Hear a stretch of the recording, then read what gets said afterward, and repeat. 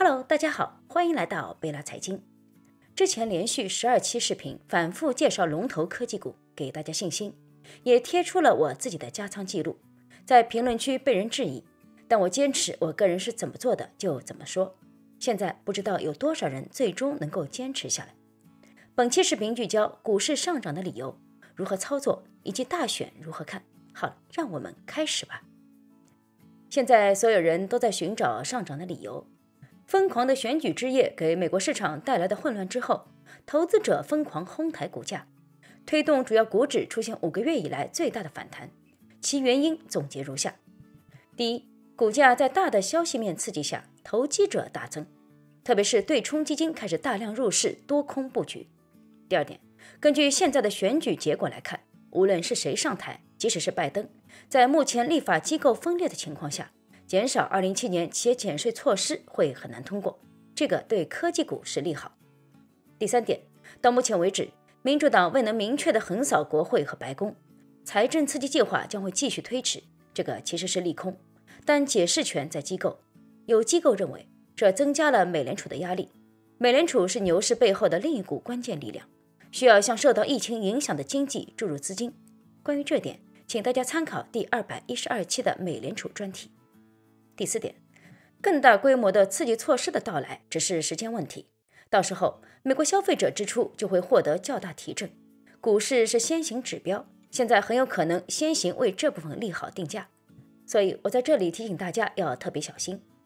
第五点，之前罗素两千在十月表现较好的一部分原因，是因为市场压住民主党获胜，将加大刺激经济力度，这会提振周期性企业，包括小型企业、银行。制造企业和大宗商品生产企业，他们在经济复苏中往往表现良好，现在反而表现不佳，就是一种先行定价的表现。美国经济没有恢复，美国政府还不断发钱，发钱意味着往市场里面兑水，GDP 没有增长，往里面兑水就是滞胀，滞胀意味着经济不增长，光涨价，这时大资本就更糟糕，更没有地方去了，所以只好瞄上股市。大资本进入股市寻找标的，传统标的的估值是死的，很难讲故事，所以只能盯上高科技公司，抬高这些公司的股价，但不能随便瞎抬，因为如果公司没有未来，它的投资回报就不好。所以科技龙头股、成长股和白马股是美股最近的投资逻辑。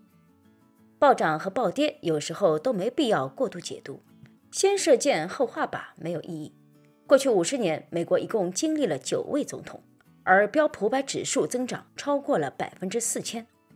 一些行业会在一些政策基础上兴旺发达，一些行业也会在衰落，但是总的来说，总是在往前推进的。思考一下自己的交易习惯，整天想着盈利，落袋为安，即使是只大牛股，最多也只能吃到其中一小段。如果每一次浮亏都想靠补仓抢反弹解套，资金迟早会陷到坑里。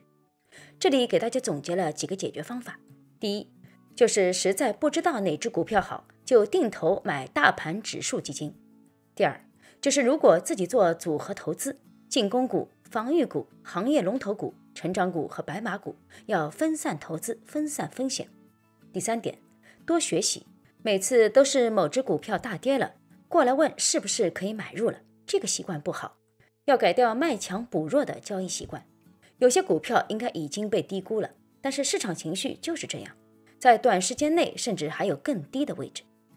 第四点，无论如何疯涨，请一定控制好自己的仓位。股市千变万化，市场也许会在某个时刻猛烈回调，所以一定要做好止损保护。或许会让投资者很有可能失去最后的一部分利润，但这是一种理性的选择。最后还是这句老话。悲观者或许暂时正确，但乐观者才能赚钱。下面我们来谈谈现在的美国大选。在某种程度上，现在的大选就像是一个被预测必定横扫的系列赛。结果打到了第七场的三加时，有些问题我们一起来探讨一下。问题一：如果一方仅以微弱优势而不是大幅优势赢下选举，怎么办？如果拜登以微弱优势而不是大幅优势赢下选举，川普很可能会以选举过程存在问题的名义，将选举结果上诉至联邦最高法院。由于保守派大法官在当前的最高法院里占据了压倒性优势，最高法院很可能会判定关键摇摆州的邮寄选票无效，从而改变选举结果。一旦此种情形发生，美国或将陷入一场政治危机，甚至是宪法危机。美国历史上曾有过先例，两千年小布什与格尔争夺白宫，福州法院做出了有利于格尔的判决，但后来被最高法院推翻。布什成为美国总统，当时大法官们基本是按照自己的党派立场来投票的。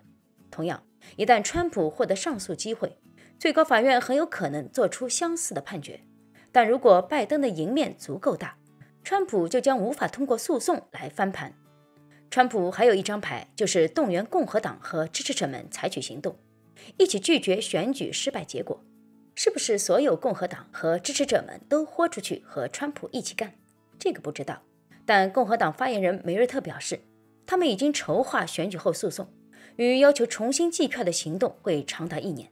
现在，共和党有数千名律师已经在关键战场州开始行动，在宾州已经提出两起诉讼，在内华达州共和党部也向最高法院提起上诉。问题二：即使投票结果拜登获得了选举人票，会不会出现失信选举人？还有四十天，十二月十四日，选举人团将在各自州举行投票，才正式确定总统人选。选举人一般会按照各州投票结果投下选票，但届时会不会出现失信选举人？美国历史上总共出现八十五位将票投给了其他候选人的失信选举人，包括二零一六年的大选出现了七名失信选举人，当时引起了不少民主党支持者的强烈不满，所以。即便是投票结果出来，双方票数高度相近，也有可能出现选举人临阵倒戈。问题三：除了拜登赢或川普赢，还有可能会出现第三种情形吗？如果所有候选人都未能获得半数以上的选举人票，则由众议院从得票最多的前三名候选人中选出总统。一八二四年，亚当斯即在这种情况下。最后由众院投票选举为总统。还有一种情况，如果川普和拜登各获得二百六十九票，打成平手，那么总统人选将由国会众议院决定，副总统人选则由参议院决定。到底谁能笑到最后？无论对川普还是对拜登来说，注定不是坦途。让我们保持耐心，拭目以待。若选举没有结果，代表着副总统也没有明确人选，到时候将由众议院议长接任。同时，副总统将由参议院选出。现在的局势堪比好莱坞，什么都可能发生。当然，我们从中也看到了一个励志的故事：一个七十四岁的老人和一个七十九岁的老人，就为了这么一份工作，还这样拼命，这样不服输。我们还有什么理由不努力呢？然而，从长远来看，选举大多是噪音。好了，本期视频就到这里了，希望各位看完后点个赞，以示鼓励。坚持是一种信仰，专注是一种态度。感谢您的一路陪伴，谢谢。股市有风险，投资需谨慎。感谢您与我共度时光，如果有缘，我们下次再见，拜拜。